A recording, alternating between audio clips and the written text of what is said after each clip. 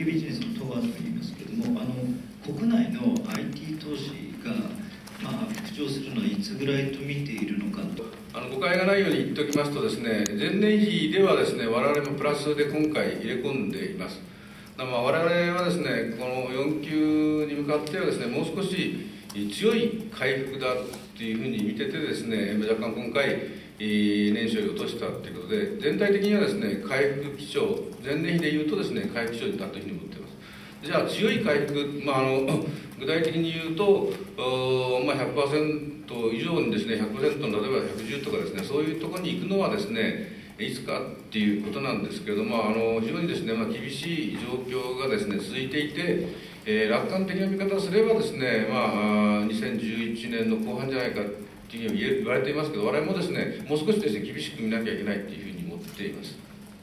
えー、っと山本社長にお伺いしたいんですけども中期計画をまあリセットされるとおっしゃいましたけどどどの辺がそのポイントになるんでしょうか？あのまず中期計画でございますけれどこれはあのえー、昨年の7月にですね、えー、まああ2011年12年までですね、えー、述べさせていただきましたけれど、えーまあ、その時のですね市場環境とかなりですね、えー、大きな変動があるということでですね、えー、具体的な数字はもう述べられませんけどリセットでですねもう一遍ゼロベースで積み上げたいなというふうに思っています。で、まあ、その中期のですね数字はどうなるかっていうのはですね今回の1450億をベースになるというふうに理解していただければというふうに思いますもう一個は、えーと、海外で IBM であるとか、えー、オラクルであるとかオーケストラが続いてますけど、えー、技術が、えー、そういう恩恵を受けられないのはなぜなのかその理由を教えてください。あの誤解がないように言っていますと先ほど言ったように昨年比ではですね我々も150%今回2011年度はですね伸びています。で、まあ、こんなに50%も伸びたってことはあまりないと思いますけど我々はですねさらなるまだ高い目標をですね掲げて我々やっていました。それに対しては先ほど言ってるようにまあ、日本のですね、えーまあ、IT 投資がですね、えー、力強くまだ回復基調にないっていうのでですね残念ながら、えー、IBM さん等のですね数字から見ると皆さんにとってはですねえー、物足りない数字になっていると思います。ただ富士通全体で言うとですね、えー、内部の構造改革も徹底的にやってきましたんで、えー、ある意味は筋肉体質の、まあ、体制が整えたんでですね、えーまあ、市場の状況によってはですねさらなるですね躍進が可能になるというふうに私は思っています。あのちょっと今日の決算とですねあの違う話でかつですね土下座さんの絡みの恐縮なんですが、同業他社さんの考えの話で大変恐縮なんですが、山本社長にちょっとお尋ねしたいんですけども、昨日、まあ、LEC さんがですね、中国のレノボさんとそのパソコンを中心に戦略的な提携ということで、まあ、発表がありました。で、パソコン事業はですね、まあ、30年ぐらい前から、まあ、もしくは FM7 とかの時代からですね、NEC さんとライバルとしてやってこられたわけですけども、まあ、そのそのライバルというか、採用っていうのは NEC さんがですね、ああいう動きを取られたことに対する、まあ、そのまあ、感想というか所見と同時にですねこういったその、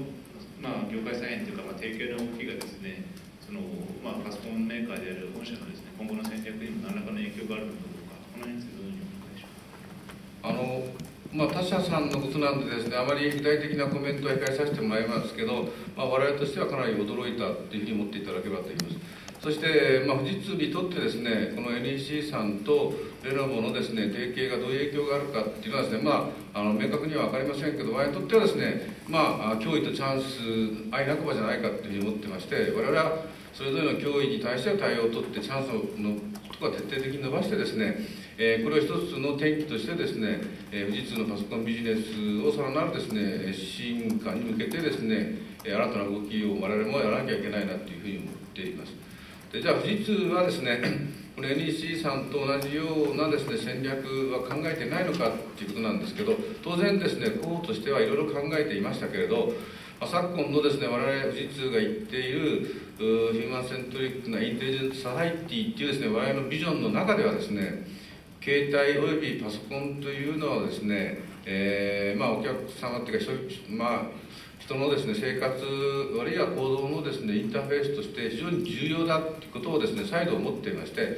我々としてはですねえー、富士通が進めるこのインテリジェンス IT の中でですね重要なあ商品だとしてですね今後も大切に育っていきたいというふうに思っているのが1点と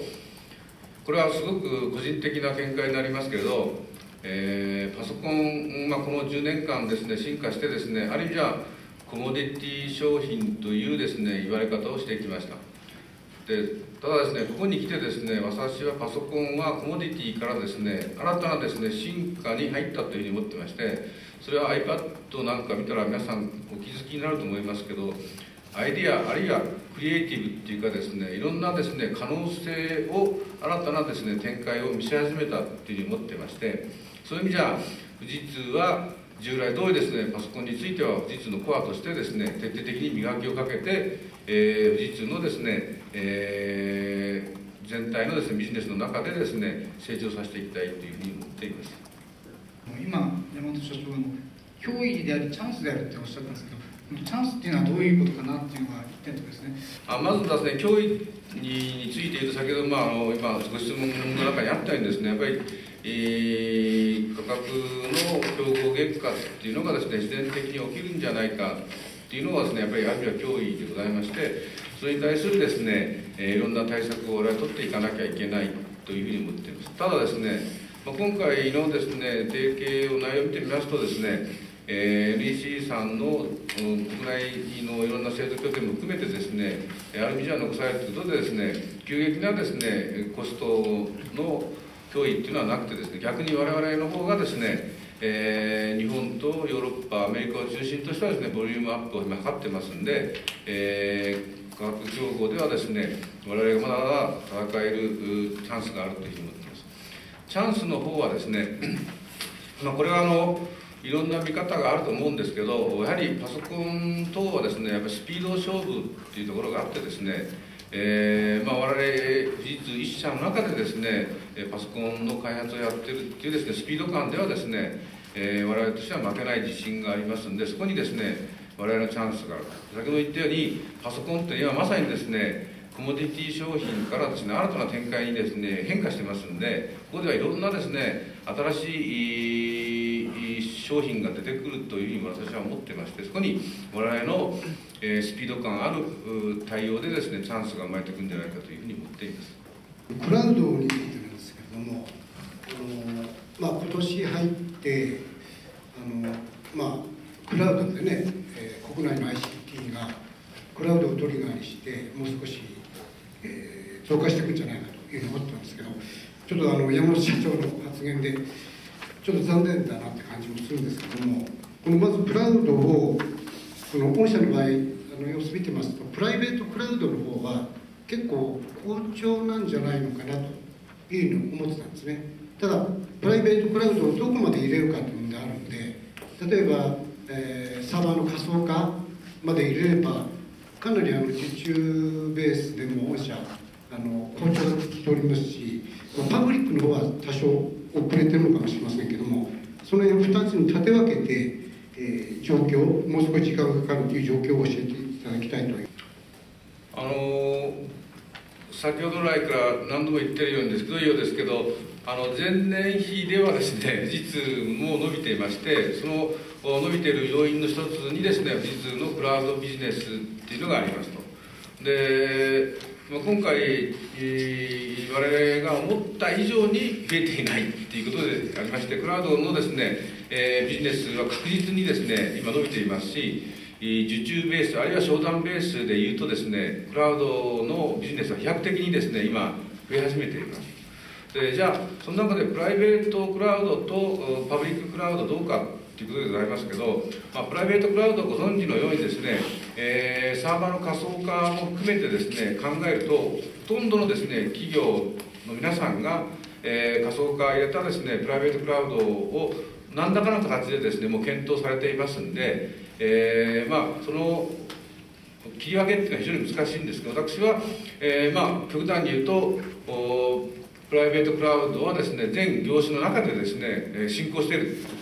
に思っています。で我々が、まあ、あの売上の中でですねかなり今後期待しているのはですね従来のそういう富士通が得意だった企業大企業のですね、えー、IT の中以外にですねパブリッククラウドでどれだけ我々はその我々の開拓できなかったお客さんもですね、えー、集めてくれるかっていうのがですね、えー、今後の我々のクラウドビジネスの大きな注目点でございますけどこのパブリッククラウドについてはですね昨年の10月に予約量産といいますか本番をですね開始してですねもうすでに500件を超えるですね、えー、商談がですね入ってきまして、えー、非常にですね活性化した。これはただそのビジネスベースでですねどんどんどんどん伸びていくのはですね残念ながらこの来年2011年度以降じゃないかというふうに思っていますあの携帯電話の方はなんかまあスマートフォンの好調でまあかなりまあ悪い中でもまあ良かったっていうことですけれどもまあ今後やっぱりまあこの来年度にかけて、まあ、携帯電話事業さらにまあ伸ばしていくって面で、まあ、今後の取り組みっていうのはどう考えてらっしゃるんでしょうか。あのまあ、携帯電話についてはですねおかげさんでですね、えーまあ、予想を超えるですね、えー、我々は成果が出てそれはあの東芝さんと富士通が一緒になったことがですね、えー、我々の予想以上にですね効果が出ているというふうに今評価しています。まあ、の一番具体的な例で言うとですね、えー、スマートフォンをこの昨年の12月からですね、えー、発売開始しまして au さんについてはですねこの2月からですね、えー、発売いたしますけれどお、まあ、誠に申し訳ないぐらいですね受注いただいてましてですね今商品の製造をですね、え、日々増産に向けてですね動いているという状況でそれぐらい、え、富士通の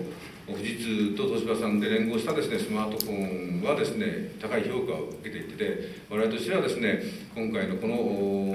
統合がですね間違いじゃなかったという自信を深めました。でかつ、まあ、あのスマートフォン以外についてもですねおかげさんで今富士通の携帯電話についてはですね、いろんなところでですね評価いただいておりまして、え直近で言うとですね、えコラボ109コラボ携帯はですねえ予想以上のですね売り上げをですね、え今上げさせていただいています、まあ、そういう意味ではあの今のご質問はおそらく国内ではまあいいんだけど今後それからどうするんだってことも踏まえてると思うんですけどこの私がずっと言ったようにですね国内で足腰の強い体質を作った後はですねそれをベースに海外展開も考えることを言っておりましたんで、まあ、だんだんとですね国内の足腰が強くなってきたんでですね2011年12年に向けてですね、え、海外展開も含めてですね、えーまあ、来たる今度のですね中期計画の中にはしっかりと入れさせていただきたいというふうに思っています。